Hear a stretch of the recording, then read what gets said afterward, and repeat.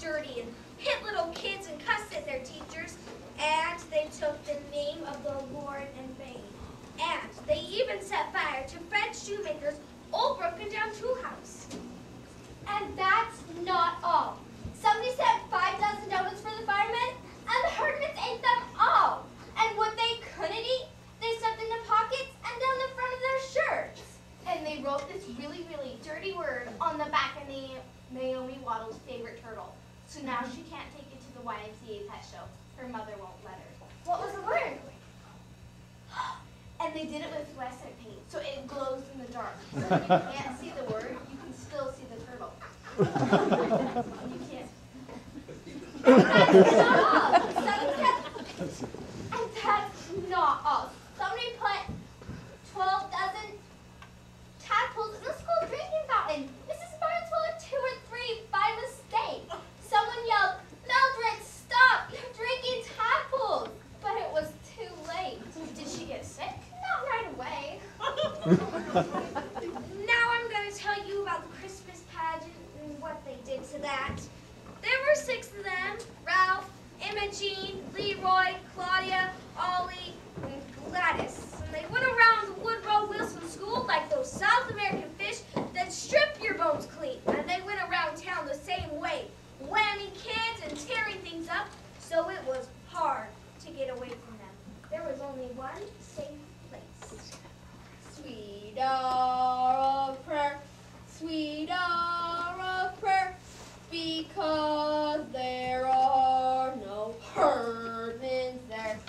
But Jesus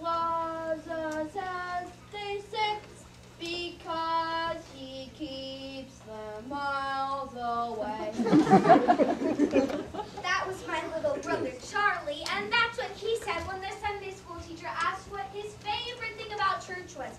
He said no herdmans, and that made the teacher mad because all of the other kids said nice things about God and Jesus and good feelings. But old Charlie told the real truth no herdmans.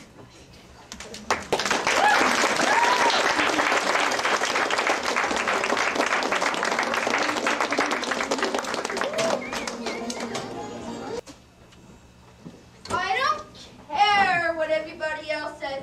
That's what they really thought. All that other stuff is okay, but the main good thing about church is there are no permanents there ever. It's not a very Christian sentiment, it seems to me. But it's a very practical sentiment. Charlie was black and blue all last year because he had to sit next to Leroy Herdman in school. Is he the worst one? Leroy? They're all the worst one. Well, Ralph, the biggest soul of Ralph gets you. That doesn't make any difference. Gladys isn't big, but she's fast and she's mean and she lies. I'm sorry I asked. Just stay away from all of them then. That's what I said. Stay away from them. Go to church. I'm glad to hear you feel that way. Why? Well, because there'll be no arguments about the Christmas pageant this year. I don't want to be a shepherd again. Well, then tell Mrs. Armstrong that you want to be a wise man. I don't want to be in it. Everybody's in it. Just think of how I would feel sitting there on Christmas Eve if my own children weren't in the Christmas pageant. Just think of how your father would feel. You'd feel terrible, wouldn't you, Bob? Ah, yeah, I didn't plan to go. You know how busy it is there. They could use my seat. I'll just stay home, put on my bathrobe, relax. There's never anything different about the Christmas pageant anyway. Well, there's going to be something different this year. What? Charlie's going to wear your bathrobe. You just made that up, Grace. Well, Charlie, why don't you be Joseph? Elmer Hopkins will pay you a whole dollar to be Joseph. Elmer is sick and tired of being Joseph just because his father's a minister. Nobody wants to be Joseph. Nobody wants to be in it. What are you going to be this year? I'm always in the angel choir. Well, there you go. Why can't Charlie be in the angel choir? Because I can't sing. From what I recall in the past, that's not a serious drawback. Away in a manger always sounds like a closet full of mice to me. what do you wear in the angel choir anyway? Bed sheets. Oh boy, some choice. A bathrobe or a bed sheet. Come on, Beth, let's go watch. You know Mrs. Armstrong works very hard to make a lovely experience for everyone. Oh, Mom, Mrs. Armstrong just likes to run things. They're right, of course. She directs the Christmas pageant. She runs the potluck supper, and she's chairman of the bazaar. Why, I think Helen Armstrong would preach the sermon if anyone would let her. Is that George Armstrong's wife? Yes. Well, then she's going to have to manage the hospital because that's where she is. I saw George at the drugstore. He said she broke her leg this morning. She'll be in traction for two weeks and laid up till the first of the year. Till the first of the year, they'll have to cancel Christmas. She's in charge of Christmas. Like I said, she runs the pageant, she runs the bazaar. I feel sorry for Helen, but who's going to do all of those things?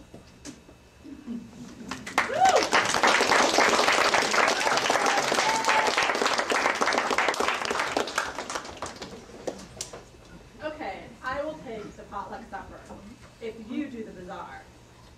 I do not know what we're going to do about the Christmas pageant. Well, there is Grace. I just can't. I've got company all Christmas week. How about Grace? Hello, Grace? Bob, What? I have to direct the Christmas pageant. Does that mean I have to go?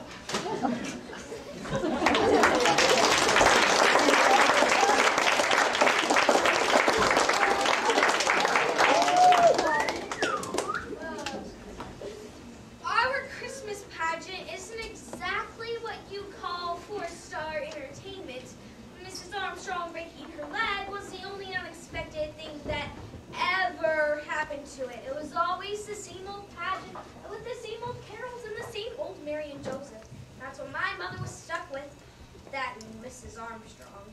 Tell you again, Grace, how important it is to give everyone a chance. Here's what I do. I always start with Mary, and I tell them that we must choose our Mary very carefully because, after all, Mary was the mother of Jesus. I know that, Helen. Yes, and then I tell them about Joseph and how he was God's choice to be Jesus' father. That's how I explain that. Frankly. I thought Mrs. Armstrong was in traction. How could she talk on the phone when she's in traction? What do you think traction is? Like when they put you to sleep? No such luck. Uh, we need napkins and uh, salt and pepper. And I always say, there are no small parts, only small actors. Remind the angel choir not to stare out of the audience. Charlie, you will save some for the rest of us, won't you? I'm hungry. Leroy Herdman stole my lunch again. How can you let him do that to you day after day? How can I stop him? Where's the chicken? Grace, where's the chicken? It's still in the oven. I'll get it. You'll need to get someone to push the angels on stage, otherwise they get in each other's way and they bend their wings. Bob could do that. Oh, and he could keep an eye on the shepherds too. Oh, oh, oh, another word about the angel choir, Grace. Don't let them wear lipstick. They think that just because this is a play, that they have to wear lipstick, and it looks terrible. I'm coming! Well, Lady, can you spare a meal? I haven't had a square one in three days. For heaven's sake, it's you. Well, I was feeling rather lonely sitting there at the table. Well, Helen's feeling lonely at the hospital. Yeah, not as long as the phones are working. I bet she told you no small parts, only small actors. And about giving someone to shut the baby angels on and make the shepherd shut up. Yes, she suggested your father. Does that mean I have to go? oh, and Grace, don't get just anybody's baby for Jesus. Get a quiet one. Better yet, get two if you can. That way, if one turns out to be fussy, you could always switch them.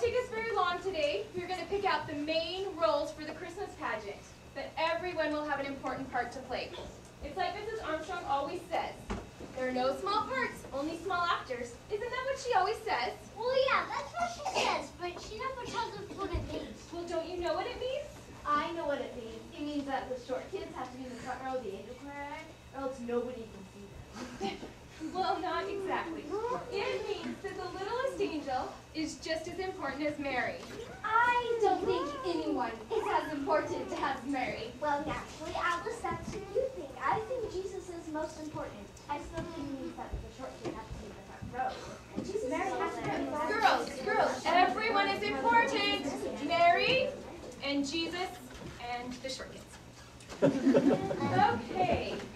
Is everyone here? Beverly, will you run out in the hall and just see if there's anyone else coming, please? Thank you. And you little children are going to be our angels. So remind your mothers that you'll need bed sheets. Do the people in the angel choir need bed sheets for their costumes too? Yes, Doris, you'll need bed sheets as well. And if anyone has extra bathrobes at home that you can bring, then what's the matter? Okay, make room for the Herdmans.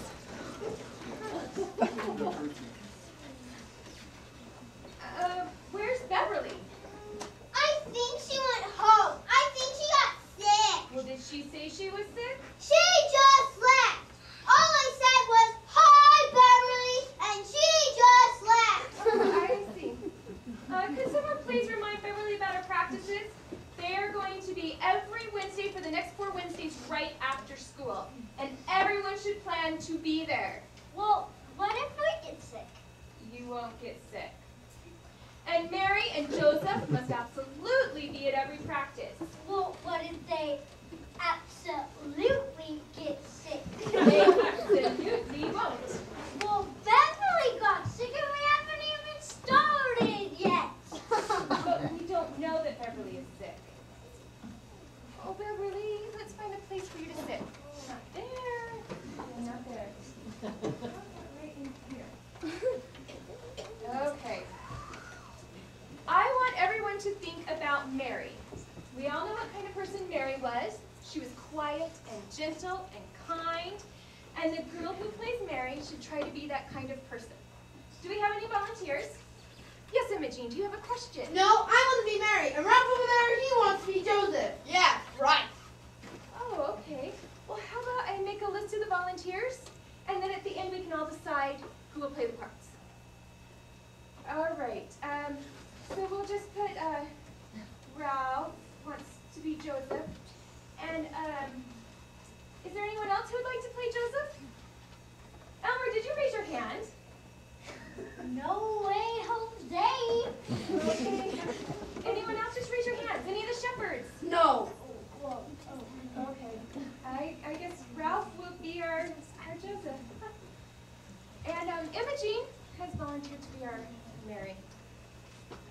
I'll put that on my list. Uh, can I put some other names on my list? Maxine. Beth. No. Alice, don't you want to volunteer? No, I don't want to. I'll be Mary. Shut up, Gladys. I'm all right, Mary. You be a wise Well, the wise men are usually boys, but they don't have to be. Help me, wise man. Oh, you be a wise man? I want to be a wise man too. So does Claudia. Raise your hand, Claudia. What's a wise man? Just raise your hand. What's left to be? Some angel. I'll be that. What is it?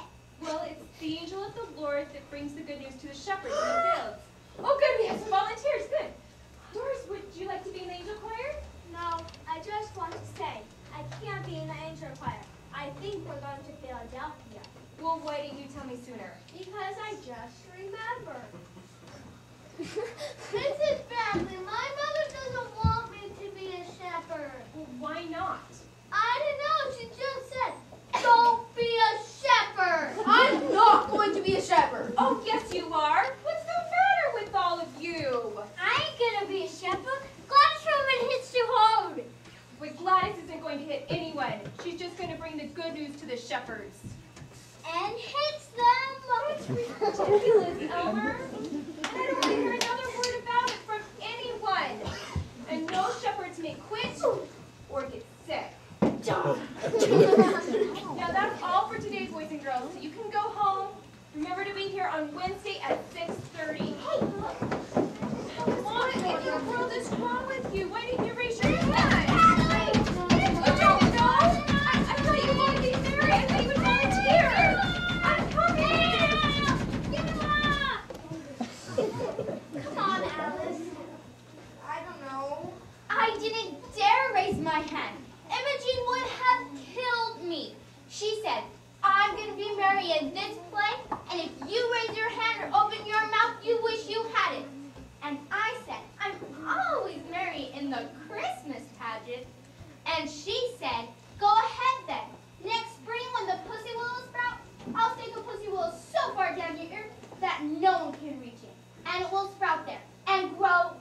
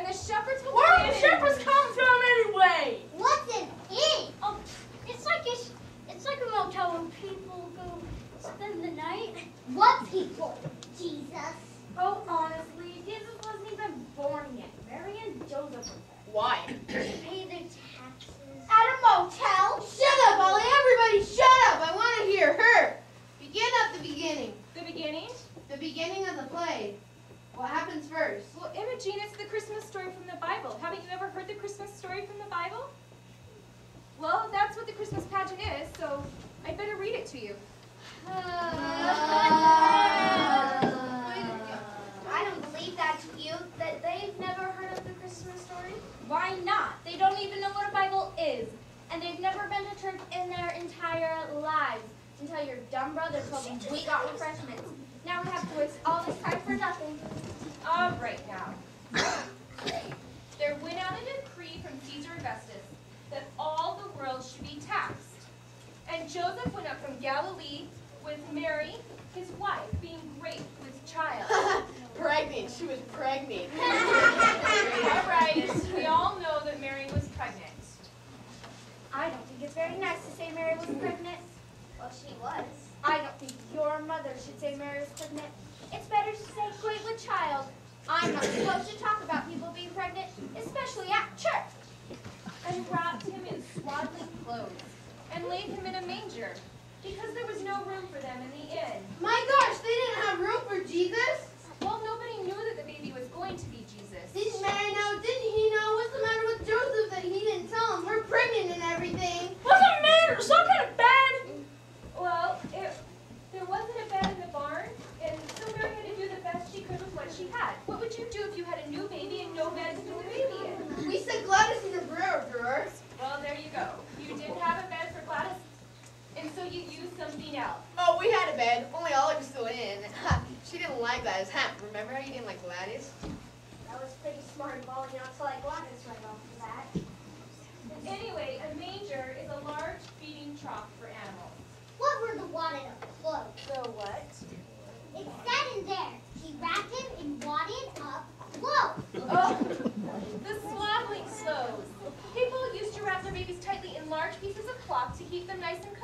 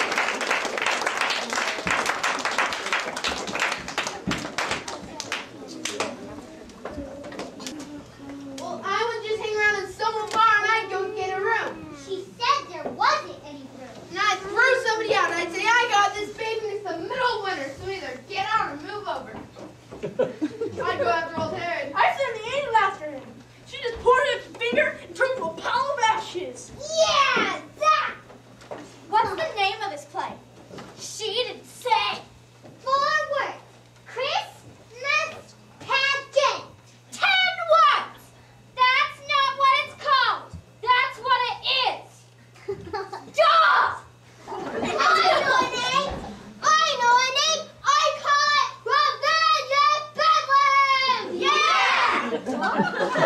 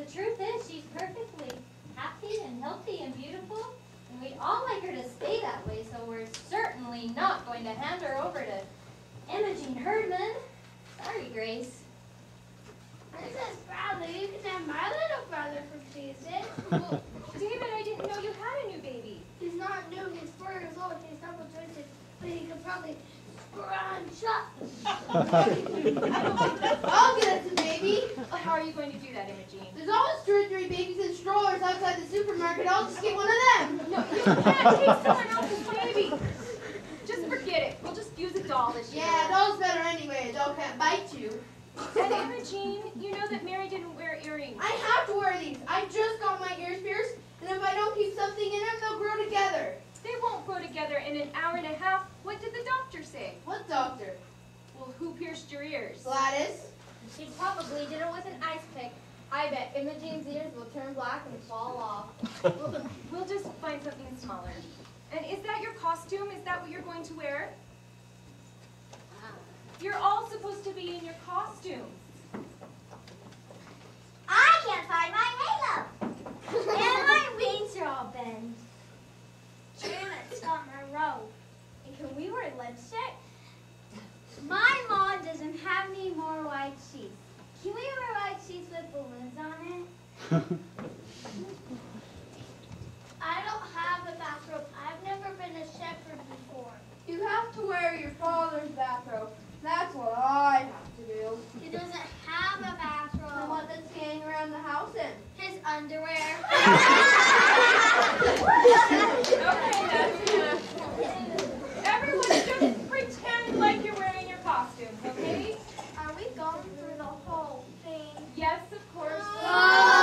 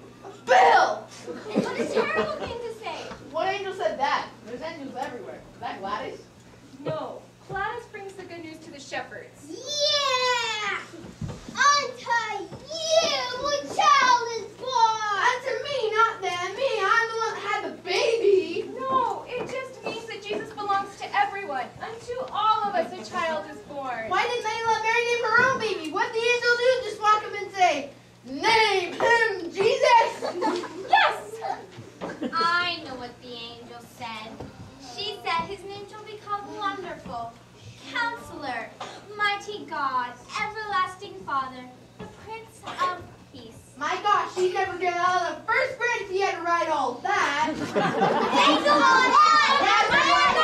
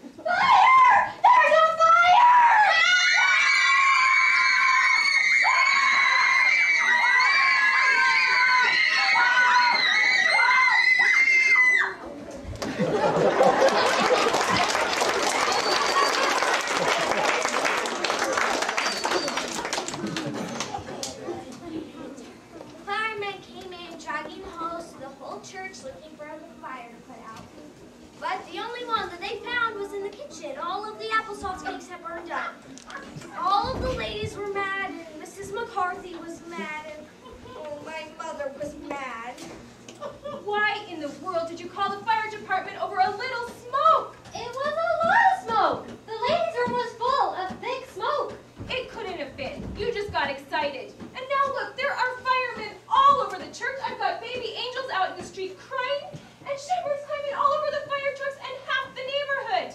Didn't you know it was cigar smoke? No, I didn't know it was cigar smoke. I don't expect to find cigar smoke in the ladies' room of the church.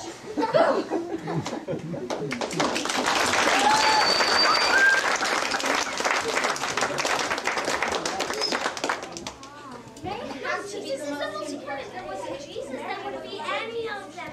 Jesus is the most important. Jesus, Wait, we have an audience. We are now going to have a 15-minute intermission.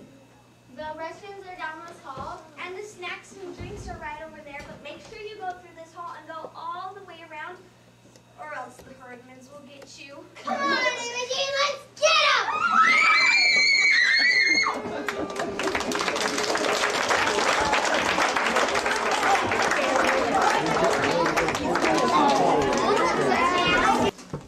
Alice Wendleken's mother was mad too, and all the ladies were mad. And Reverend Hopkins said he didn't know what to think.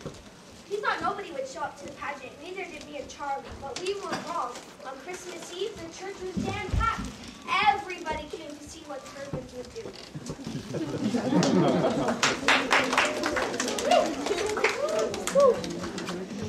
Right. And watch your step. Can't even see where I'm going. What did you think you were gonna do with this thing anyway? What? I thought it would look like a palm tree. Yeah, it doesn't. You know, I don't know what in the world is going to happen tonight. We've never once made it through the entire thing. And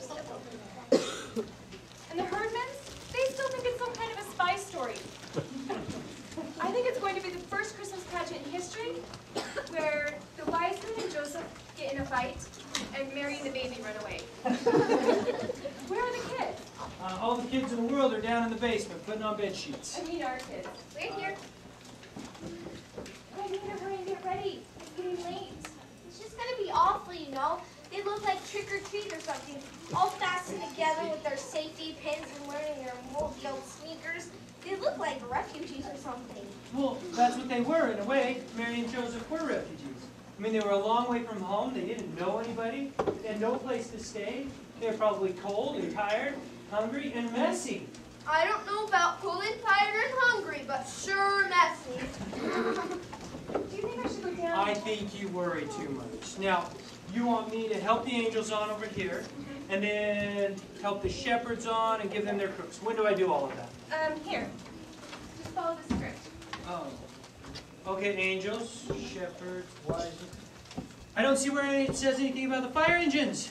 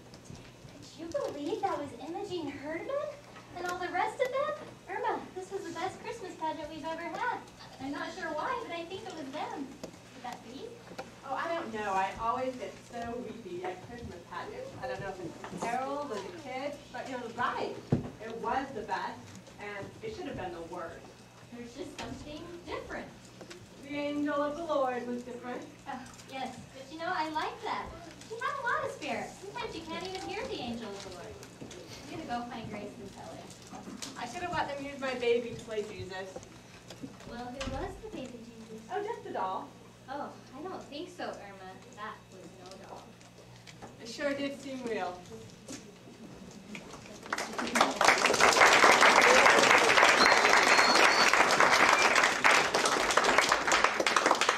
It did seem real, as if it might have happened just that way.